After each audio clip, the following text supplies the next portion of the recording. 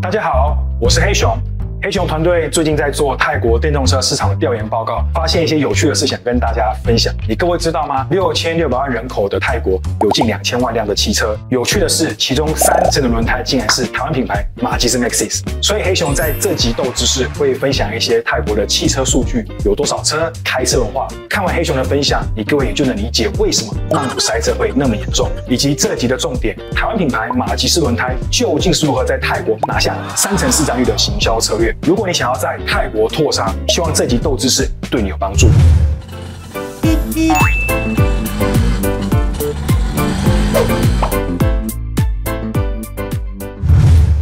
根据泰国陆运局二零一九年的数据，全泰国有近两千万辆汽车，其中登记在曼谷的就有六百万辆。但是涉及在曼谷的居民仅有五百五十万人，几乎每一个曼谷居民都有一辆汽车，而且都还没有算上流动人口的车辆，更还没有加上同样是登记在曼谷的四百万辆摩托车。这个数据真的是很惊人。黑熊来这个表跟家乡台北市比较一下，曼谷比台北市大五点八倍，但是汽车数量却是八点一倍。曼谷的交通道路规划更不用说了，道路太少，规划又不佳，曼谷为何会塞车？我想你各位应该能了解吧。再来，这跟当地文化也有关。大多数的泰国人爱面子，有没有车代步，用什么车代步就很重要。别人看不见的可以不用太讲究，但开的车一定要光鲜亮丽。也因为这个用车文化，泰国人爱买车，泰国的车贷甚至可以做到二十年。开好车有什么好处？除了聚餐、泡夜店、钥匙放桌上很帅气，开好车警察也不敢找茬。劳斯莱斯、兰博基尼不用说，基本上你只要开到宾士以上，泰国警察就不太敢找你麻烦了。顺带一提，宾士 Mercedes-Benz 的 Benz 是不分性别，泰国人很爱的昵称。你跟泰国人交朋友，一定会有认识叫做 Benz 的。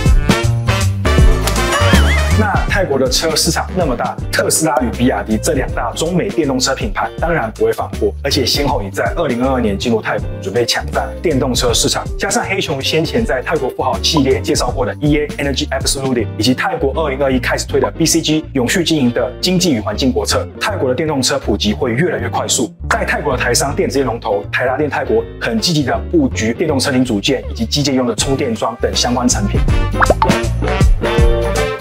另一个就是来自台湾彰化的振兴轮胎，早在二零零三年进入泰国设厂，除了外销出口，在泰国国内与车厂做 B to B 生意，并以 Nexus 马吉斯品牌向泰国民众推广销售。就黑熊取得的资料，他们在二零二一年泰国的总营收高达一百二十亿泰铢，真的是默默的赚。为了提升技术力及产品品质，马吉斯还在昆山花了一点五亿美金，打造了一个轮胎试验场。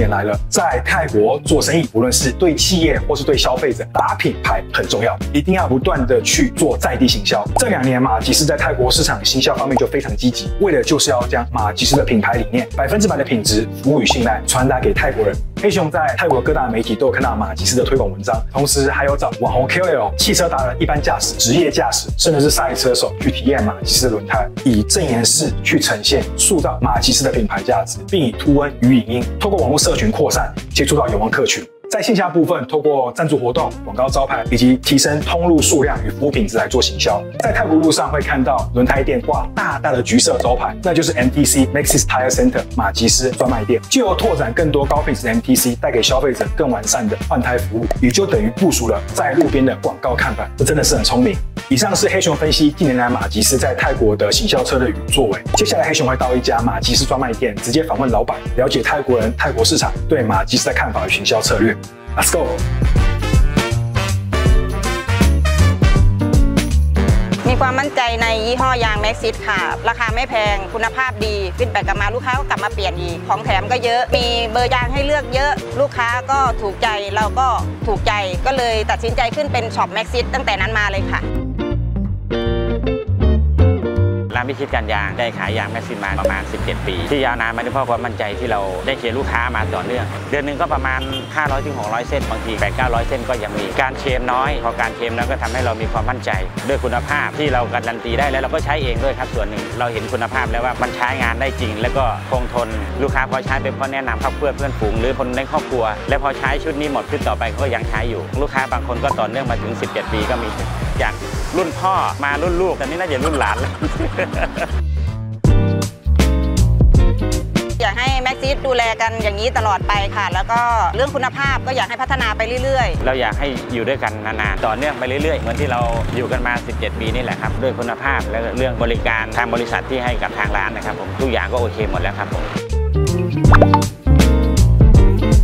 不管你买油车还是电动车，不变的是还是需要轮胎，这个真的是门好生意。以后你在泰国搭车，不妨注意一下轮胎，看看是哪个品牌。其实不知不觉，黑熊就访了几家深耕泰国品牌的企业主、高阶管理人，像是泰达电、中华电信、CAT 与 SPO，可以从他们的角度带大家看见泰国，我觉得蛮有意思的。不管是认识泰国，或是了解趋势与学习经营，也很有帮助。未来黑熊也会尽可能制作更多这样的专题。至于振兴马吉斯轮胎，希望之后有机会能够到他们的总部或是轮胎试验场，与他们研发、生产或是管理的核心人物聊聊，听听他们对泰国以及对全球汽车市场变革的看法与应对。不过只是听听不够过瘾，我是很想像《赛道狂人》这部电影中小亨利福特那样，体验一下高速与抓地一带的快感，那一点刺激。